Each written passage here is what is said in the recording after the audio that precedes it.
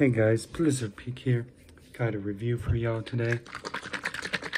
We've got Chobani Greek yogurt mango. Some mango Greek yogurt. It says only natural ingredients. Protein rich, authentically crafted, no fake fruit, no artificial flavors, no artificial sweeteners, no preservatives, no gluten, no RBST, whatever that is. Oh, milk from RBST treated cows is not significantly different than what? I don't get it. Oh, so the cows aren't RBST treated, whatever that is. Grade A, keep refrigerated. Just took it out of the fridge. Chobani LLC, New Berlin, New York. Six live and active cultures whatever that is. Ingredients.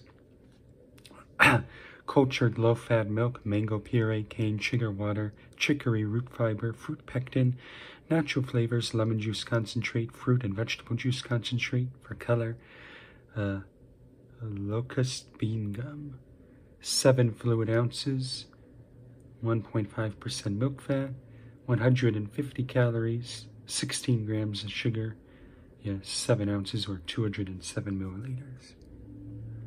Anyways, let's try some mango Greek yogurt by Chobani.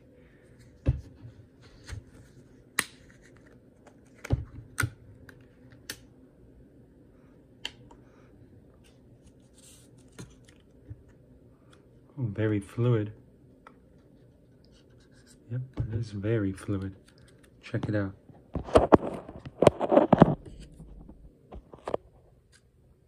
It's like a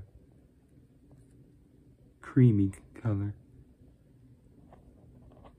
Maybe a super tiny peachy tint, orange tint for that mango. Mostly smells like yogurt or milk, you know. Let's give it a try.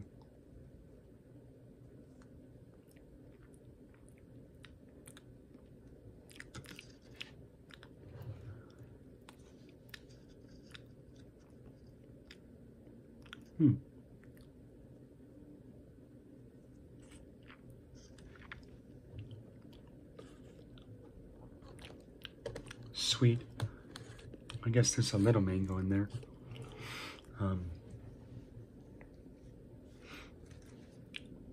it's alright.